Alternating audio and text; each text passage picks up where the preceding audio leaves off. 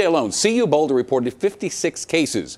441 cases now have been confirmed in less than a month's time. And with the situation rapidly getting out of hand, CU is now telling all students living in Boulder to stay in their homes or dorms unless absolutely necessary. The Kappa Sigma fraternity has earned the wrath of the city as well. They're being threatened with jail time for constantly breaking the rules. Denver 7's Jason Gruenauer picks up the story from there tonight. Jason? Yes, you add in the five fraternities and sororities with active outbreaks, one dorm here on campus with an active outbreak, and that fraternity house off campus that you just mentioned now under a mandatory quarantine. All of that's happened just within the last eight days. So what does that mean? It means more restrictions on students. It means more enforcement being done by the university, but it also means more being demanded of the university to do even more. Oh, it's empty quiet on campus today, even more so than earlier this semester, as COVID cases on campus spike. A little uh, frightening, I would say.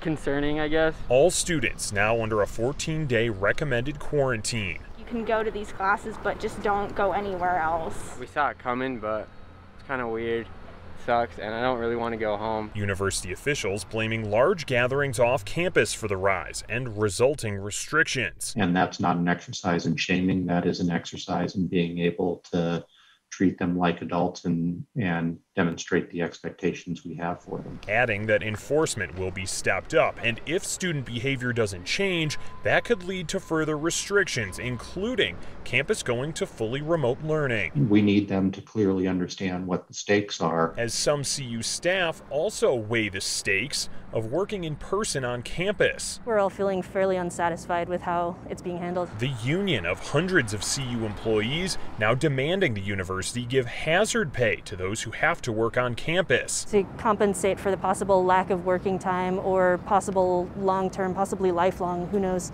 um, health repercussions that CU should provide some compensation since they're the ones making the call not to shut everything down. A CU spokesperson replied in a statement saying they would not be paying hazard pay, but that they have health and safety procedures in place for all who are on campus.